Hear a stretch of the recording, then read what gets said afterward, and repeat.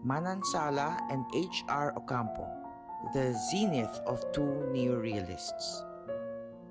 Vicente Manansala, Pounding Rice, 1979.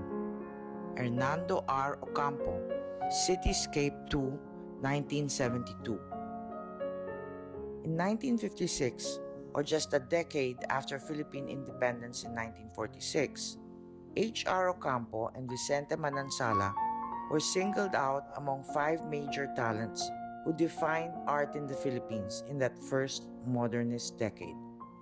H.R. Ocampo's singular achievement, critic Ricaredo Demetillo said, was to demonstrate the symbolic use of color and lines so that his canvases were testaments to the human condition of our time. Along with Victorio Edades, he was named as a pioneer of modern art in the Philippines.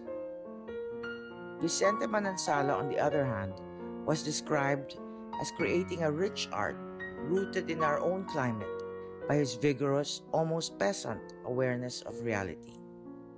By the 1970s, Manansala had perfected his artistic idiom known as transparent cubism, fragmenting the facets of everyday life to create a Filipino neo-reality. In Manansala's Pounding Rice, the master has selected a common country scene of women engaged in all the necessary tasks of rural living, winnowing rice, pounding it, and also preparing to go to market, in this case with homegrown vegetables.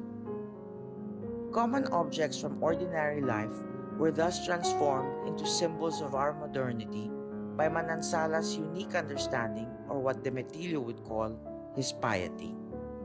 Hernando R. Ocampo, on the other hand, would relentlessly record his urban jungle. He continued to live in the same neighborhood he had grown up in, in Maypajo, Caloocan. It could be the city roofs and church spires set ablaze with the first morning light or it could be the fiery yellows and reds of H.R. Ocampo's deep spirituality.